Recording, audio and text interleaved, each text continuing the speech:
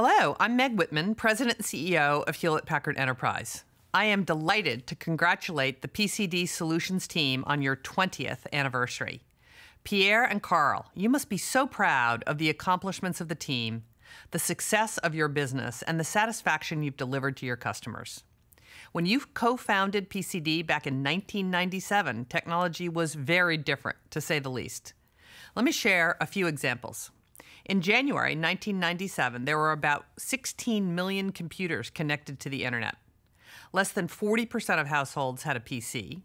A little site called Auction Web changed its name to eBay, and the Palm Pilot was all the rage. Today, the breadth and depth of the vital services and solutions you deliver to your clients was unimaginable just two decades ago. On behalf of all of us at Hewlett Packard Enterprise, thank you for your partnership and congratulations on this milestone. Your first 20 years have been remarkable, and may the future of PCD be even brighter.